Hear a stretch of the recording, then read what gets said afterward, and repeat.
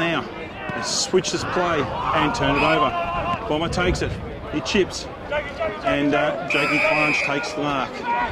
He elects to play him quickly and finds Willets all by himself. So some good running there by the Mont players on the turnover.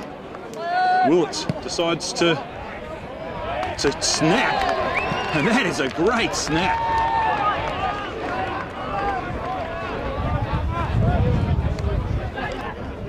Jackson is immediately into attack.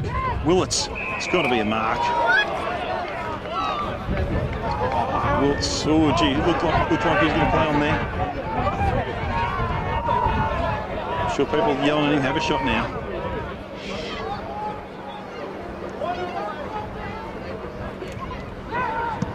Kicks. Umpire's hardly moving. And that is a great goal against the wind. And he points to the people in the crowd that are giving him the hard time.